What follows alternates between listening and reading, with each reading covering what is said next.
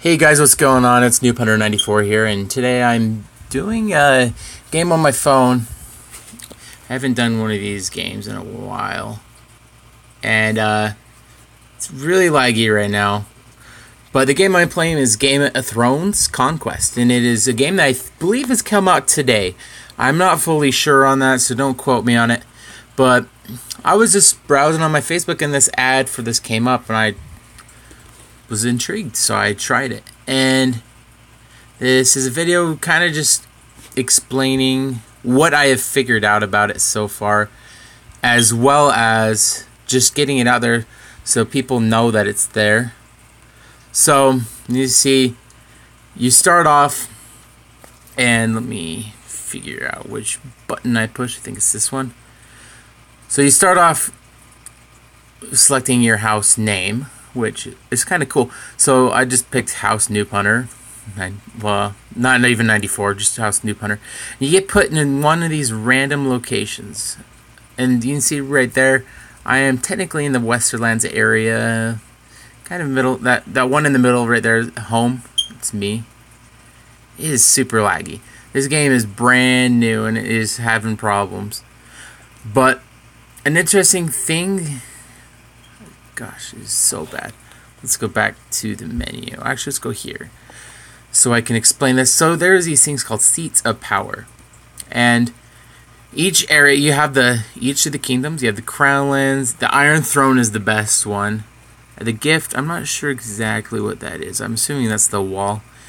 But, see, let's go find the north. Is the north here? They have these different areas. So you can see all the different castles from the movies. Like, the White Hills, the Foresters, the Dreadfort, and it is so laggy. I think it must be because I'm recording. But see, this is Bear Island, and you can actually take over these uh, the castles from the movies, and they give you different bonuses.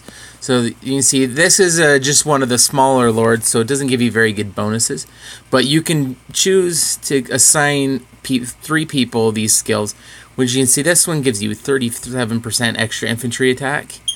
This one gives trap capacity and siege health. And you just find them around, like, if the game wasn't lagging, I'd see which ones are close to me. So I could come here, go to it on the map. I'm not sure who actually owns this castle. I don't think I've ever heard of this one. Yep, and you just take it over, but you have to have an alliance, which I have not figured that out very good.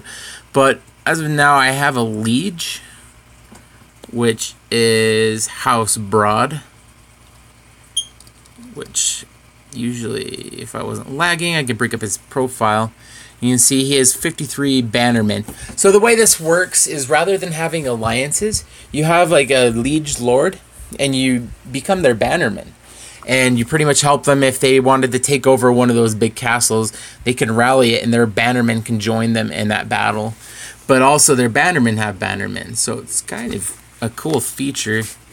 And I can go here to my profile, and because the game is new, they give you these new these the purple items I have. They become free. You can see they're not too bad for a starter. They give you 30,000 power and pretty good infantry, attack, and defense. And the other stuff gives similar stuff. I'll leave that for you guys to see. And yeah, over here is my bannerman. I just pretty much went in chat and said I needed someone to help me and to join my my the become my bannerman. And I you can see I've had five people become my bannerman. So if I were to need help, I could ask these guys to help, and they could teleport in and help me defend or attack or do whatever. Actually, it says here I have ten. Yeah, I have ten bannermen. See the I can't really point, but next to the swords where it has the two lines going down, that's how many bannermen I have. So I I have ten, and I am House Broad's bannerman, and I'm not exactly sure where he's at. He said he's by House Karstark, their building, so. Yeah. Uh, this game, I'm trying to think of the type of game it is. You can click here, take you back to your home base. Um, there's different type of games like this. Like, I think, I don't know if I ever posted the video, but there's, it's kind of like King of Avalon, where you can attack people you can there's resources on the field like this you can go gather i can't even click on it you can gather it to get food. You can see the top of the screen. You can see how much food and wood i have. As you progress you get more materials you can use to build and upgrade. And another thing you can do is there you get special materials to make the equipment that i showed you. On my guy. And the way you can get that stuff is you attack creatures. And as of now they have level 30s but because I am new and weak, I am only able to take level 5s. You click OK, and it finds them. You can see down there. You got to kind of scroll around. And then right here, it says you found a creature. That's the closest one on your screen, at least. You see there's a big group of people there. They must be an alliance. Um, so, then you attack this bandit camp, and that's how many troops I have right now. You can just see on the far right side, it says how much I have of each. Not very much, as you can expect, I've only played this game for about 30 minutes. So we'll march that. That'll take two minutes. They're going to go kill that uh, raider camp. You can see here, these are the battle messages. I just returned from attacking a camp, and this is the rewards that I got from it. You can't really click on it to see what it actually does, but whatever. Um, I'll go show you my city, see, show you the buildings that are in the game. So these troops right there, that means they're done being trained. So I'll just do that. And I will start training new ones. Click on them and it trains the best ones automatically, which I'm only getting tier 2 troops, which isn't really that good. But the thing is, everyone has tier troops, tier 2 troops right now, so it's not too big of a deal. Start getting some catapults. Don't have enough food, so let's see how much we can afford. Yeah. And so all these buildings down here, I mean, there's little circles. They are for these buildings, which the three, the ones that you can get at the moment of where my level is at, is these war camps, in which I believe that controls how many troops you can train at a time, as well as it makes them train faster. And these are hospitals where if your troops get wounded, which they I don't know if this game is like it because I have you start off with a five day peace shield so no one can attack you for five days, which is cool. But uh, yeah, if your troops get attacked defending, then they get they get wounded and they get sent to this medical tent, which it's a lot easier, quicker, and a lot cheaper to just heal your troops rather than to have to build new ones. So the hospitals are a really good thing to have. You want to make sure you have more room in the hospitals than troops you have. You see, I just healed a couple siege, but I was out of food, so I can't heal them all. And these over here are farms and sawmills. And at the beginning, you're only limited on how much you can have of each one, and it's so laggy. And I've maxed out all of them. I just need to get them all upgraded. And you see that battle report right here? We just hit the monster. Go right there. That's our rewards from attacking the monster. And I'm not sure what all these pieces are. I'm assuming they're parts to uh, build equipment. So just kind of go over some of these buildings. This one right here is the barracks where you can train infantry, archers, cavalry, catapults, and these are traps where if you, your city gets attacked, they take some people with them pretty much. Uh, they're kind of useless in my own opinion. And this is a watchtower where you can scout people. you can see how many troops they have, how many resources they have, if they're worth attacking. And also, if you're getting attacked, you ha- haven't been attacked yet, obviously. This is kind of going on about the other games that are kind of similar. But you can see how many troops are attacking you. And this is the research place. And currently, I am researching a military trait, which is archer drills and I'll show you this what it gives me it's going to give me 1% ranged damage so that'll be good for this beginning I want to get a good boost on the military so that I can uh, what's this maester chains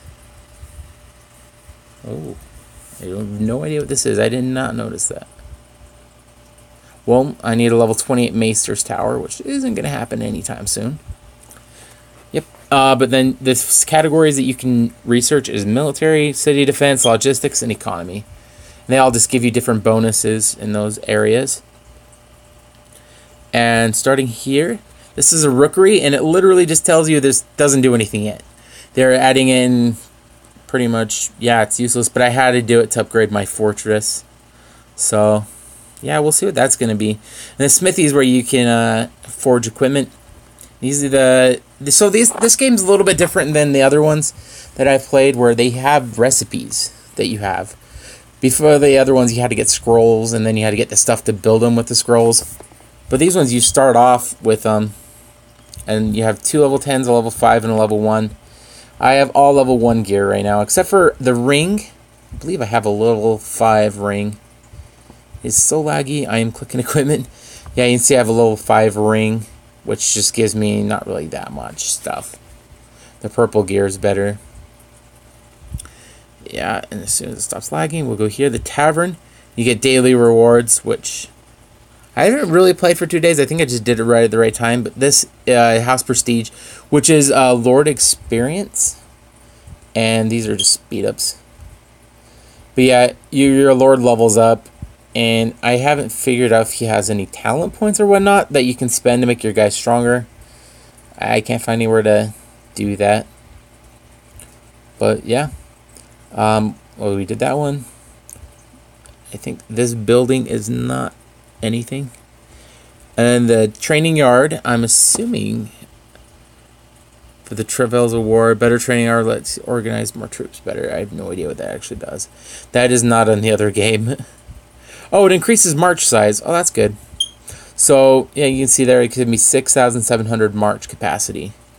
And these are buildings that are not available yet, like a Great Hall. That's for rallying. That's good.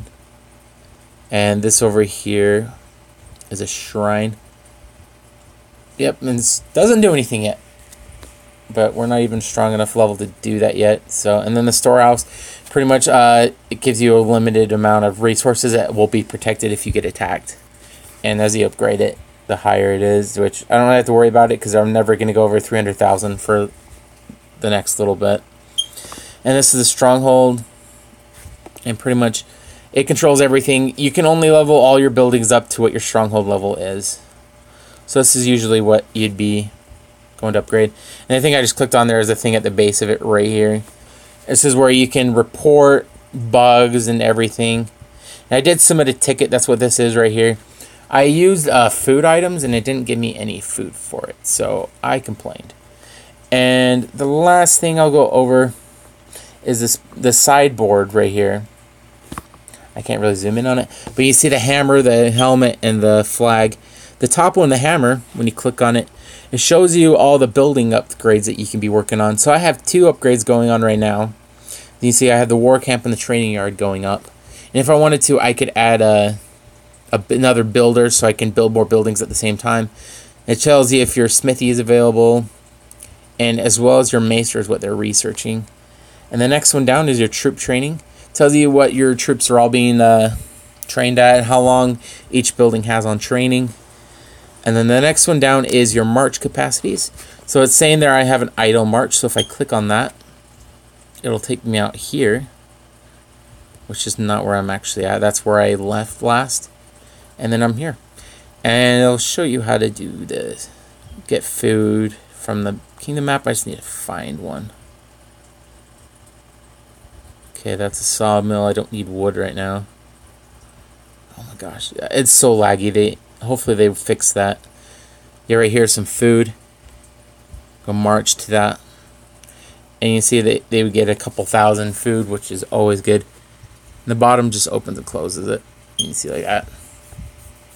And I'm gonna click this thing in the top right. I'm not sure this. I think this is where you can buy stuff. Um, if it's done lagging yeah, these are just kind of, you can buy, you can pay to win, pretty much. Let's just leave it there. I probably won't be spending any money on this game unless I really like it. And some games, they you have to uh, pay money to unlock stuff. Like on King of Avalon, I paid a dollar so I can do stuff like that. But I can't really just my justify myself paying money on a phone game. but yeah, that's the game. The basics of what I've got so far. Um, as I said, there's probably a lot more you to work with. Like I'm still not sure about the alliance stuff and the Bannermen and how that fully works yet. You see there's something done here. Oh, it's saying I can uh, heal troops, but I can't really because I don't have any food. But yeah, that's going to be the video for now. And if you guys want to see, maybe maybe see a series, not really a series, but like where I update you on what's going on, and just kind of pop in here for maybe a 10 minute video every once in a while. Like the video and let me down know down in the comments. And uh, yeah, thank you guys for watching this. If you stuck with me, and I'll see you guys next time. Bye.